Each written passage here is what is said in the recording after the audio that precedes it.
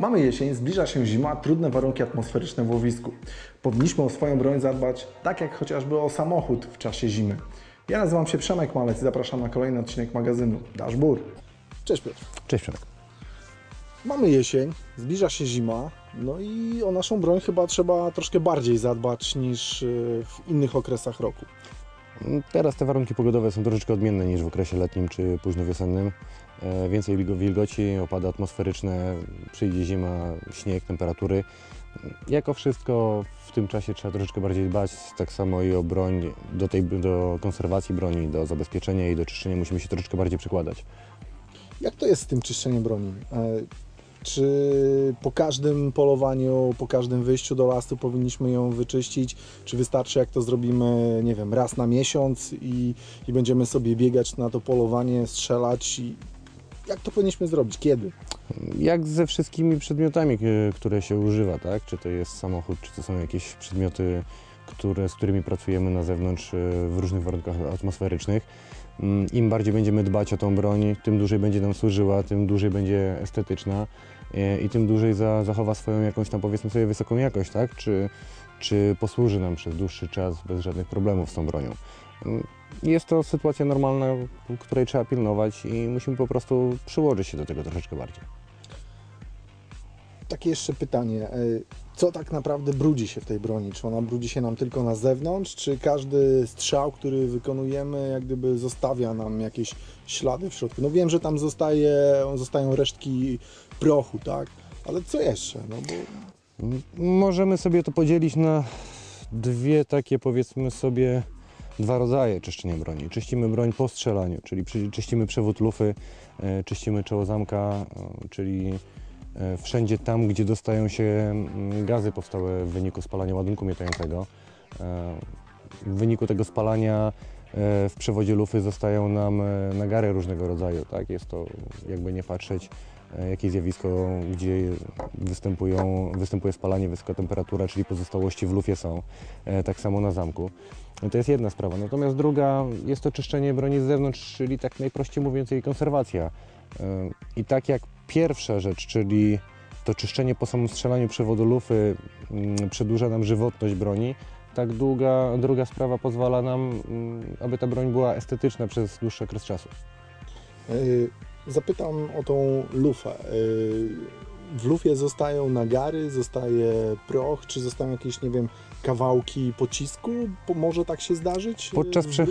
Podczas przechodzenia przez przewód lufy wiadomo, płaszcz delikatnie będzie się ścierał, są pola i bruzdy, jest jakiś tam nacisk. To nie jest tak, że ten pocisk nam przelatuje przez lufę, więc z jednej strony wsadzimy, z drugiej nam wypadnie. Tam jest bardzo duży opór, bardzo duże tarcie.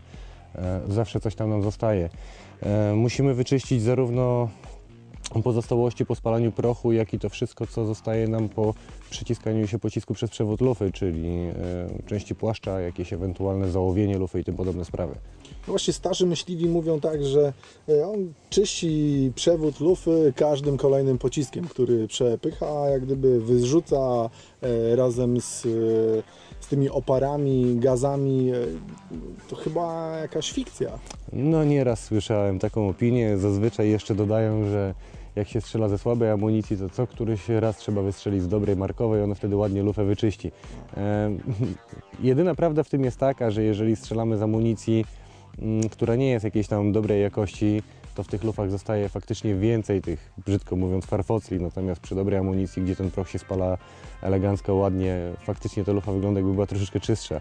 Natomiast jest to historia wyssana z palca i absolutnie się to nie sprawdza w rzeczywistości.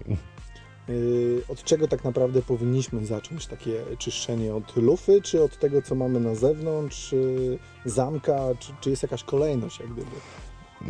Tutaj nie spotkałem się, żeby ktoś nam mówił po kolei, co mamy robić, natomiast z założenia chyba wszyscy zaczynają czy- od czyszczenia przewodu lufy.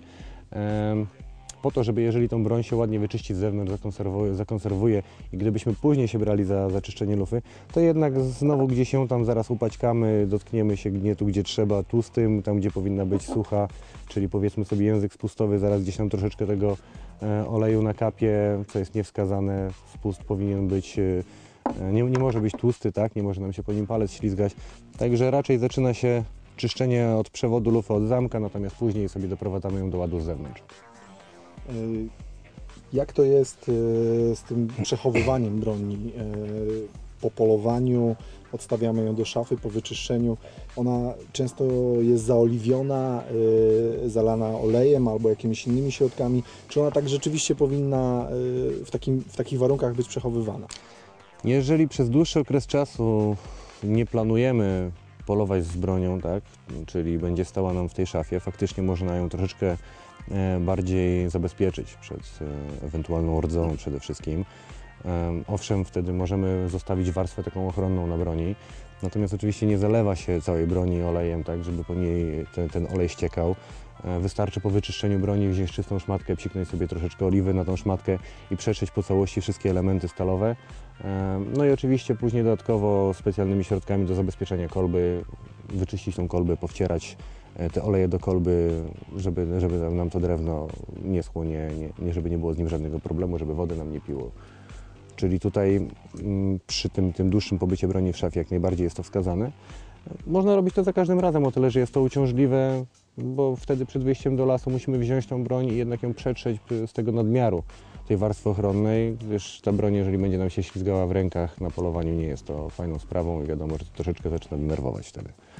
Właśnie, na rynku mamy ogrom środków do czyszczenia. Są pianki, oleje, jakieś inne specjalistyczne chemikalia. Czy możemy to wszystko razem używać, czy powinniśmy sobie wybrać jeden z tych środków i jak gdyby korzystać e, z, jednej, e, z jednego rodzaju? No, oczywiście są środki przeznaczone do czyszczenia przewodu lufy, do konserwacji zewnętrznej, są specjalne środki do e, konserwacji drewna, czyli osady broni. Do tego są jeszcze takie rzeczy, których się używa nie na co dzień. E, Wiadomo, każdorazowo po strzelaniu tą broń należałoby wyczyścić. Natomiast są środki służące przede wszystkim do odławiania lufy, pozbywania się tych wszystkich e, pozostałości po przyciskaniu się pocisku przez przewód lufy. E, Tego nie używa się każdorazowo. W zależności jak często myśliwy strzela, ile tych strzałów oddaje w lesie, czy na strzelnicy, krótko mówiąc, jaki przebieg ma broń. Raz na pół roku, raz na rok, czasami nawet rzadziej. Natomiast fakt faktem, że raz na jakiś czas przydałoby się to zrobić. To tyle, jeśli chodzi o teorię związaną z czyszczeniem i konserwacją broni. Natomiast na praktykę przyjdzie czas w kolejnych odcinkach naszego magazynu. Zapraszam.